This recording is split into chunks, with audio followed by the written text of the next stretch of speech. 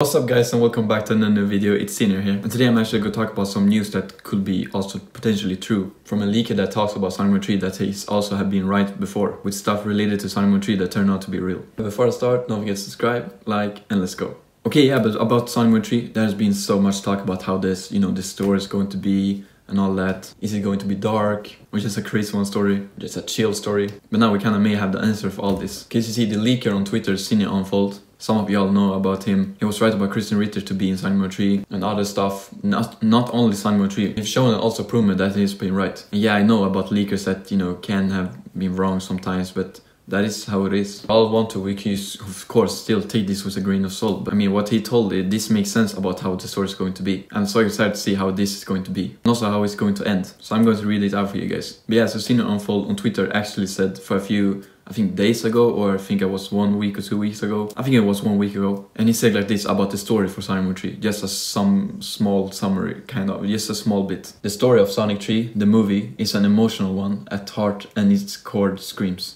How does one deal with loss? You hear that? How does one deal with loss? Of course, the first thing we think about is Shadow about the loss from Maria. Who knows what else could be in the movie? And I've seen that some people have speculated a lot and talk about that Tom Wachowski is going to die, or you know, someone well known is going to die in the movie. And I'm not talking about Maria because we all know it's going to happen. I mean, it's kind of obvious. I mean, could this just affect Shadow or could it also affect Sonic? We don't know. I mean, his loss was Longclaw, but he found a new home and a family. But it will make sense if you're more going to reach out to Shadow. And it's going to be interesting how this is going to go. You know, emotional one at heart movie. How does one deal with loss? Why does it feel like this movie is going to be dark? I mean, we actually not kind of seen, you know, some emotional, kind of high emotional or darker story in the Sonic movies. You know, with Shadow coming into this movie, it could be great to show more of it in this movie, in this story. I will see what happens and how this story is going to go. But otherwise, guys, that was all for me. Thank you guys so much for watching. Subscribe, leave a like, and comment down below too. And I'll see you soon. Bye.